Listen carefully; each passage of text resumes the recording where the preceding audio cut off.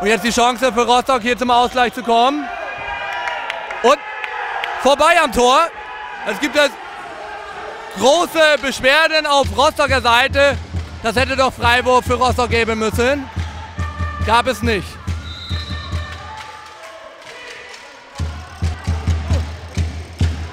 Geilen, geilen Trainer da, den Oleg Golob. Den kenne ich selber noch. Ein ganz, ganz erfahrener Mann aus Russland. Ein ganz feiner Kollege, großer Sportsmann. Hat auch selber zwei Bücher geschrieben. Hat, glaube ich, auch damals äh, bei sich dort die Nationalmannschaft der Frauen betreut. Ist natürlich ein ganz, ganz toller Trainer. Und für so eine junge Truppe hier, für die Rostocker, natürlich auch vielleicht die Idealbesetzung. Der holt aus den Leuten immer das Optimale raus und hat geile, geile Trainingsmethoden. Ja, also so, nett, so ein Einblick, so ein Einblick in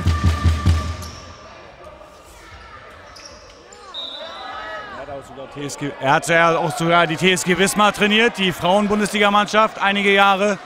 Das heißt also, es ist ein Mann, der hat Charisma, der hat Ausstrahlung und ist natürlich auch ein guter seines Faches. Ne?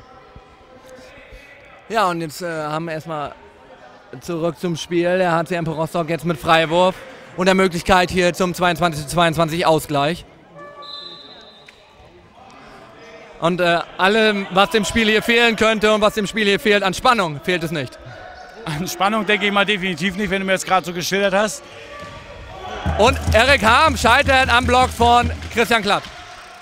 Na, nur ist die Frage, die Jungs müssen natürlich jetzt ein bisschen darauf hinarbeiten, zumindest mal. Und wieder klar nach dem äh, Abwurf geworfen. Ist definitiv eine 2-Minuten-Strafe. Der Pfiff ist erfolgt und der Spieler zieht den Ball natürlich definitiv auf den Torwart, um ihn sicherlich irgendwo äh, ja, Schaden zuzufügen, würde ich bald mal sagen, weil es ist schon eine Provokation, den Ball in der Phase noch mit aller Gewalt über den Kopf zu ziehen. Und diese, genau diese Szene haben wir jetzt schon sechs, sieben Mal beobachtet. Allein in der zweiten Halbzeit. Und wurde noch nicht einmal bestraft, oder wie? Richtig, wir haben es einmal haben wir es bestraft in der ersten Halbzeit noch. Da war es noch viel deutlicher. Da gab es dann, nachdem der Spieler dann sagte, oh, ich habe es nicht gehört, dann gelbe Karte. Ja, gelbe Karte ist natürlich in dem Fall auch zu wenig, weil es ist einfach eine Bestrafung. Das Spiel ist unterbrochen. Das ist genauso wie jetzt gerade die Diskussion war mit sechs Feldspielern kurzzeitig auf dem Feld, die Rostocker, bis die wir minimiert haben auf fünf. Ist genauso eine Herausstellung. Und da, wie du sagst, äh, dass die beiden Schiedsrichterinnen hier nicht ganz Herr der Lage sind. Obwohl, da muss da nicht das Kampfgericht auch einschreiten? Äh, bei, der, bei der Wechselgeschichte mit diesen sechs Feldsperren auf jeden Fall. Da muss das Kampfgericht auch reagieren. Aber in der Phase hier mit den Würfen auf, nach dem Pfiff muss natürlich das Schiedsrichterpaar darauf achten. Ne? Ja, es sind hier noch äh, viereinhalb Minuten zu spielen. Banskolic führt mit einem Treffer. Oh, da hat Christian Klatt unglücklich was abbekommen. Aber da gibt es Shake Hand, das haben wir vorhin auch gesehen. Da gab es äh, zwei Minuten gegen Hand Schuld und das möchten wir in dieser hitzigen Diskussion auch sagen. Da gab es auch die Entschuldigung und den Shake Hand mit Lars Klütermann.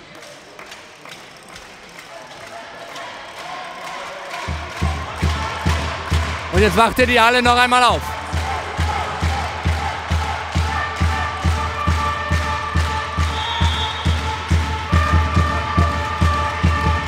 Äh, Sehen wir Marco Ohm geduscht auf der Tribüne, der vor uns hier lang geht und sich dieses spannende Spiel jetzt von der Tribüne aus angucken muss. Passives Spiel angezeigt, Robert Schneidewind mit dem Pass, Christian Klatt und das Tor. Ein bisschen gewurschtelt, ein bisschen Glück und ein bisschen viel können zum 23-21. Also man könnte ganz viel ganz sagen, es war vorher, die Spielsituation war totaler Dünnpfiff. Und im Endeffekt kam noch ein dickes, fettes Klöpschen raus, dass der Ball wirklich dem Klatti vor die Beine fällt. Und der hat das natürlich ganz abgekocht und abgeklärt. Aber das zeichnet so ein Spieler wie Klatti natürlich auch aus.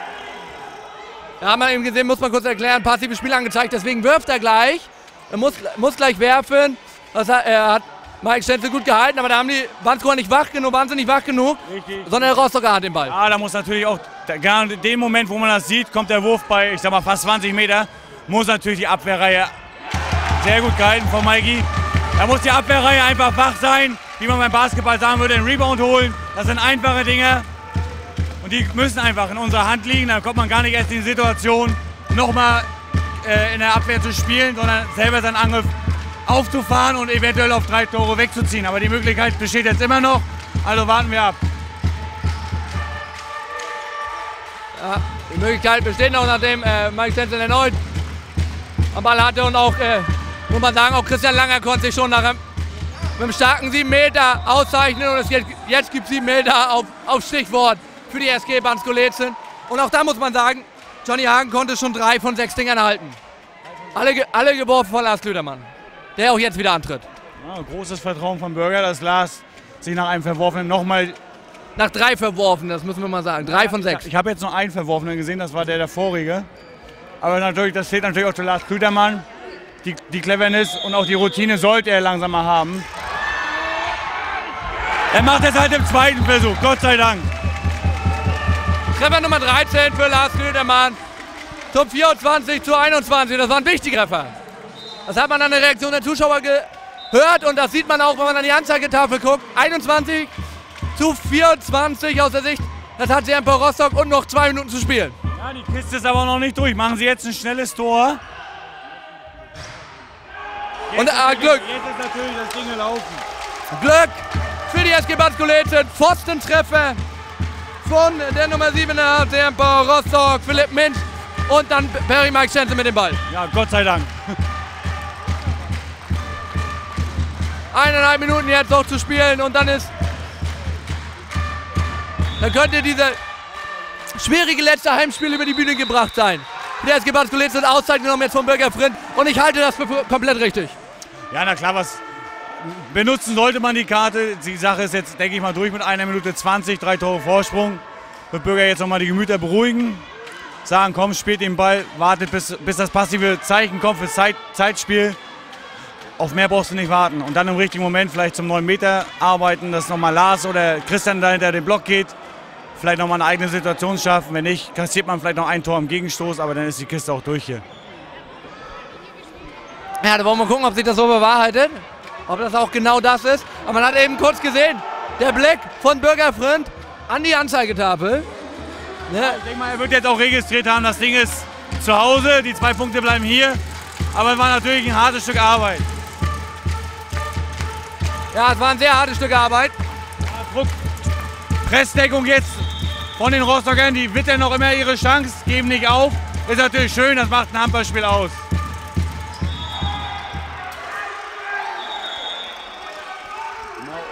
Immer auf 9 Meter arbeiten, immer auf taktisches Foul arbeiten. Dann kannst du nichts mehr verkehrt machen. Robert Scheidewind und der Treffer. Den rein, jetzt macht den rein, wunderbar. Vierter Treffer für Robert Scheidewind in diesem Spiel. Vier Treffer Vorsprung für die SG Bad 25 zu 21. Und dann ist das das Tor, das kann man so lachen, da muss er nicht mehr zugreifen. Siebter Treffer von Martin Kosinski. Unterm Strich nehmen wir das als Weihnachtsgeschenk der SG Banskoletz, nehmen die Fenster hier mit. Drei Sekunden vor dem Ende. Wir haben eine tolle, tolle Hinserie gesehen, der SG Banskoletz, die ja noch nicht ganz vorbei ist. Man hat noch das Spiel in Matzlo-Gabitz. Das ist natürlich ein mega Derby wie Matzlo gegen Lezen. Wird eine heiße Kiste, denke ich mal. War die letzten zwei Jahre immer eine heiße Nummer. Und daher, denke ich mal, gibt es auch noch mal alle Kräfte im Bündeln, um da eventuell auch mal wieder zwei Punkte aus Matzlo zu entfernen. Aber es ist halt ein schwieriges Spiel. Da spielt natürlich auch nicht mehr die Tabellensituation eine Rolle, sondern einfach nur das Derby.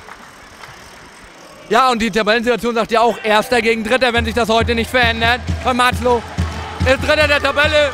13 Sekunden sind hier noch zu spielen. Die Halle erhebt sich. Nicht nur für dieses Spiel, sondern für diese ganz, ganz tolle Hinserie der SG Banskoletsch. Niemand hier und jetzt na,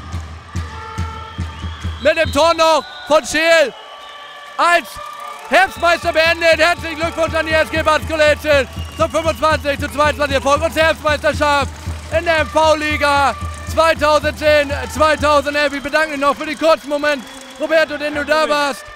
Ne? Herzlichen Glückwunsch für deine Mannschaft.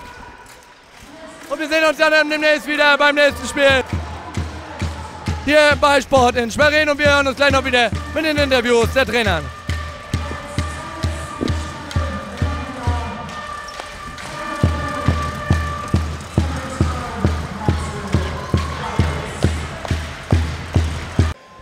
25 zu 23 endet das Spiel der SG Bansko-Lezin gegen den HC Empor Rostock. Als Vertreter habe ich jetzt hier für die SG Bansko-Lezin Trainer Bürger Fründ und äh, Thomas Heumann, der Betreuer des HC Empor Rostock 2.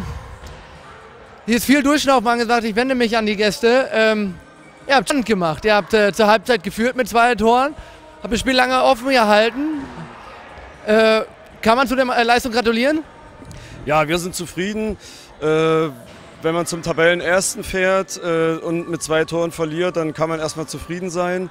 Zumal wir mit vielen A-Jugendlichen spielen äh, und die müssen erstmal lernen, sich in der Männerwelt durchzusetzen. Und heute haben sie das aus unserer Sicht ganz gut gemacht. Ja. Bürger, äh, mit vollem Einsatz dabei die ganze Saison heute, sogar in kurz. Ähm, es hat nicht ganz zum Kurzeinsatz gereicht. Äh, es war doch ein wenig knapp. Äh, erstmal natürlich herzlichen Glückwunsch äh, dass so geklappt hat, aber die Personaldecke war doch äh, bedenklich eng. Ja, das ist auch der Grund, warum ich heute äh, in kurzen Hosen hier stehe. Ähm, zum Glück kam es nicht so weit, dass ich mit drauf musste, aber es war ein, zwei Mal kurz davor. Nee, aber du hast schon recht, ähm, heute haben wir wirklich äh, extrem viele Ausfälle gehabt und deswegen hatte ich auch kein so gutes Bauchgefühl heute vor dem Spiel. Gerade dann gegen so eine sehr junge, dynamische Mannschaft. Äh, wenn du nicht die Bank hast, um darauf zu reagieren, dann ist es nachher doch ein bisschen Hasenhandball. Äh, wurde zum Glück nicht so, bin ich ganz froh drüber. Ähm, zufrieden bin ich bei Weitem nicht, aber äh, wie nennt man, sagt man so schön, es war ein dreckiger Sieg heute und den muss man auch mal mitnehmen. Also von daher alles gut. Ja, dreckiger äh, Sieg, äh, gelungener äh, Abschluss, fa äh, fast Abschluss äh, vor Weihnachten. kann man sagen, herzlichen Glückwunsch. Du bist Herbstmeister. Kannst du dich erinnern, wann du das, das zum letzten Mal warst?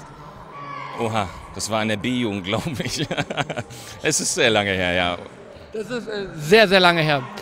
trotzdem, für den HC Rostock für die gute Leistung, die ihr heute abgerufen habt, sagte die Tabelle nicht so ganz aus. Wo geht es mit euch hin demnächst? Ja, wir wollen, also unser Ziel ist es doch äh, einen einstelligen Tabellenplatz, also auf jeden Fall nach oben, so will ich es mal sagen. Ich will mal gar nicht mit, mit Plätzen äh, hantieren, aber ich denke so Platz 8 bis 10 ist für uns realistisch. Es gibt viele Mannschaften, die wir schlagen können. Wir haben es heute gesehen, dass wir auch hier gut bestanden haben. Also ich denke, dass es noch aufwärts geht für uns. Ja, ja, würde ich sagen, äh, viel bleibt dafür nicht zu sagen. Wo geht's weiter für euch noch? Wo habt ihr das letzte Spiel in der äh, Hinserie? Ja, wir sind nächste, haben, nächste Woche haben wir Bützow noch bei uns zu Hause. Auch eine starke Mannschaft, müssen wir genauso aufpassen, müssen wir uns gut vorbereiten. Aber ich denke, dass wir da auch gute Chancen haben, gut abzuschneiden. Mhm. Und dann will ich mich nochmal an Bürger wenden. Äh, ich kam doch mit ein bisschen Muffensausen her. Das Spiel gegen Usedom ausgefallen, gar nicht gespielt. Die beiden letzten gespielten Spiele 1 zu 3 Punkte. Äh, hat das noch zusätzlich Nervosität reingebracht heute ins Spiel? Na, die letzten Spiele denke ich mal eher weniger. Es war heute schon, ich will die Leistung der Rostocker nicht schmälern, um Gottes Willen. Ähm, aber uns fehlten heute wirklich vier Stammkräfte und äh, dann wird es auch gegen so eine junge, dynamische Mannschaft schwierig. Das haben wir heute gesehen. Wir haben, muss man ehrlich sagen, glücklich gewonnen. Anders war das nicht. Ähm, aber nee, deswegen Muffen oder sowas hatten wir nicht. Also wir wissen, was wir können. Wir sind Tabellenführer und deswegen darf man ruhig so auftreten, denke ich mal. Mhm. Ja, äh, ihr habt noch ein ganz besonderes Spiel zum Abschluss, kurz vor Weihnachten, äh, das Derby äh, bei Matzlo Gawitz. Wie geht ihr da rein? Was habt ihr zur Verfügung? Äh, wir hörten gerade aus der Schiedsrichterkabine, äh, Marco Ohm wird euch nicht zur Verfügung stehen. Ähm, wie geht ihr daran? Was habt ihr als Personal zur Verfügung? Ja, das äh, wird leider Gottes immer dünner. Jetzt das Öhmchen noch ausfällt durch die, durch die Rotsperre jetzt zwei Wochen, ähm, macht die Sache nicht einfacher. Aber ich hoffe, dass äh, Marius auf der Mitte wieder dazukommt, dass Guido für die Abwehr wieder dazukommt. Wachi wird noch länger ausfallen, also Großwachi. Von daher müssen wir mit dem, was wir haben, auskommen. Ähm, nichtsdestotrotz, die anderen Jungs können auch alle Handball spielen. Und äh, dann muss die zweite Reihe, die ist jetzt gefordert im letzten Spiel. Ich will auch im Matzlo gern gewinnen. Das wird sicherlich super schwer, gar keine Frage. Deswegen hoffe ich, dass die Fans zahlreich mitkommen und äh, das Angebot des Auswärtsbusses nutzen, dass wir da eine Heimspielatmosphäre haben. Und dann denke ich mal, werden wir persönlich einen Jahresabschluss haben. Ja, dann äh, wünsche ich dafür äh, sehr viel Glück und Erfolg. Und auch äh, für euch wünschen wir Glück und Erfolg. Wünsche euch frohe Weihnachten, guten Rutsch ins neue Jahr.